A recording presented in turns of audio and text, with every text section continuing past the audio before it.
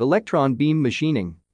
Electron beam machining, or EBM, is a non-conventional machining process used for machining of very hard and brittle materials, which otherwise cannot be machined by conventional machining processes. In electron beam machining process, the kinetic energy of the, the electron is converted into heat energy by impinging the fast-moving electron on the workpiece surface. This heat energy evaporates the workpiece surface, similar to the laser beam machining process, where a laser is used in place of electron beam. If you are interested in knowing how laser beam machining is carried out, I have provided the link in the description below, click on the I button to watch it. And if you are new to ADTW, click on the subscribe button below. This video will cover the following about the EBM process. 1. Working principle. 2. Construction. 3. Working. 4. Application. 5. Advantages and disadvantages. Working principle. This machining process works on the basic principle of conversion of kinetic energy of electrons into heat energy. When a high-speed electron impinges on a workpiece, its kinetic energy is converted into heat energy. This heat energy is used to vaporize material at the workpiece interface. This is the basic principle of EBM machining. This process is carried out in the vacuum, otherwise the electrons will collide with the particles in the air and lose its energy. Construction Construction of electron beam equipment is built similar to electron beam welding machines. Power supply. Electron beam machines utilize voltage in the range of 50 to 200 kV to accelerate the electron to 50% to 80% of the speed of light, which is about 200,000 km per second. Electron gun. It is a cathode ray tube which generates the electrons, accelerates them at a very high speed, and focuses on the required spot on the workpiece. Cathode filament is made up of tungsten, which is heated at about 2500 degrees Celsius, which accelerate the electron emission by thermionic reaction. Anode.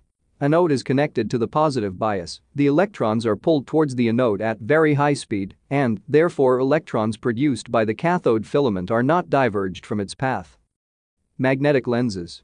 The emitted electrons are both divergent and convergent, the magnetic lens reduces the divergence of the beam and allows only convergent beam to pass to the next stage, thus, a highly focused beam of electrons is obtained. Deflecting coil. The deflecting coil does not allow the beam to deflect, thus forming a high-intense beam. Workpiece holding device.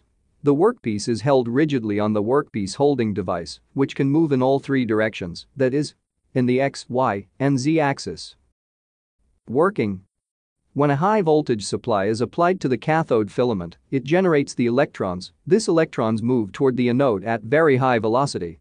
After passing through the anode, the beam of electron is made to pass through magnetic lenses where diverging and low-energy electrons are absorbed, and only converging beam of electron is made to pass through it, thus forming high-quality electron beam. Then this beam passes through the electromagnetic lens and deflecting coil, which focuses the high-energy electron beam onto the required spot of the workpiece surface. The high-intense electron beam impinges on the workpiece, where kinetic energy of electrons convert into thermal energy. And the workpiece material is removed by this intense heat, thereby melting and vaporizing it. And this whole process is carried out in the vacuum chamber. Application of EBM 1. EBM is mainly used for micro-machining operations on thin materials. These operations include drilling, perforating, slotting, and scribing, etc. 2. It is particularly useful for machining of materials of low thermal conductivity and high melting point. 3. For making fine gas orifices in space nuclear reactors and gas turbines blades. 4. Flow orifices in wire drawing dies. 5. It is particularly suitable for producing very small diameter holes, about 0.002 millimeters.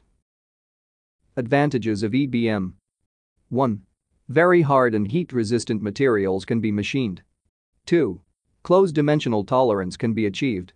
3. Produces good surface finish. 4. Heat affected zone is minimum.